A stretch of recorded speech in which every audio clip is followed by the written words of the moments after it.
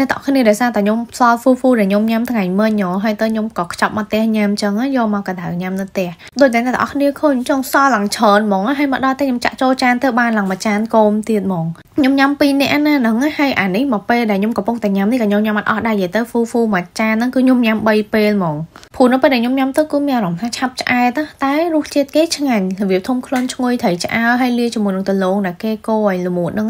ហើយក្នុងហ្នឹងអាសាច់គោអីគេវារៀងស្វិតបន្តិចក៏ប៉ុន្តែពេលទៅពីទៅស្តៀងសាច់គោងៀតចឹងណាឡងឈ្ងុយហ្មងអ្នកទាំងអស់គ្នាដោយសារតែខ្ញុំញ៉ាំនៅផ្ទះចឹងទៅខ្ញុំពាក់សំដៃញ៉ាំឲ្យមានអារម្មណ៍ថាញ៉ាំស្និទ្ធមាត់ជាងហើយណាមួយម្ហូបហ្នឹងវាហឹលចឹងទៅនៅពេលដែលប៉ះផ្ទាល់ទៅវាហឹលដៃដែរមួយថ្ងៃមុនគឺខ្ញុំបានផុសវីដេអូញ៉ាំហ្វូហ្វូនេះហើយវីដេអូហ្នឹងគឺថាឡើង view ខ្លាំងមែនតើក៏ប៉ុន្តែខ្ញុំបានឃើញ comment មួយចំនួនតូចហ្មងមកវីដេអូហ្នឹងមានតែ2 3 comment ទេគាត់បាន comment ថាហ្វូហ្វូហ្នឹងអាហ្នឹងគេញ៉ាំអត់តែ2ទេគឺយើងត្រូវលេបហ្មង សម្រាប់ខ្ញុំការញ៉ាំតាពីឬក៏លេបហ្មងហ្នឹងគឺវាអាស្រ័យទៅលើទម្លាប់នៃការញ៉ាំរបស់មនុស្សម្នាក់ម្នាក់ឯងដូចខ្ញុំអញ្ចឹងខ្ញុំទម្លាប់ញ៉ាំអីក៏តាពីដែរសូម្បីតែញ៉ាំបបរក៏ខ្ញុំតាពីដែរអញ្ចឹងញ៉ាំហ្វូហ្វូហ្នឹងក៏ខ្ញុំត្រូវតាពីដូចគ្នាព្រោះពេលអត់តាពីលេបទៅគឺវាអួលញ៉ាំអត់ចូលហ្មងណាសូម្បីតែបងម្ចាស់ហាក៏គាត់គិតដូចខ្ញុំដែរអញ្ចឹងអ្នកនរគ្នាអាចស្ដាប់គាត់និយាយបានមានអ្នកខ្លះគេខមមិនក្នុងវីដេអូគាត់ថា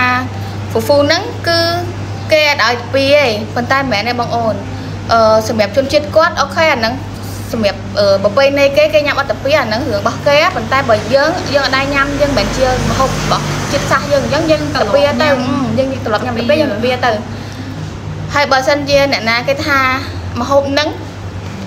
ញ៉ាំអត់ឲ្យទៅពីឯងអញ្ចឹងមកហាងខ្ញុំខ្ញុំឲ្យមកឈុតញ៉ាំបើសិនជាញ៉ាំអស់ហើយអត់ទៅពីខ្ញុំ free ឲ្យ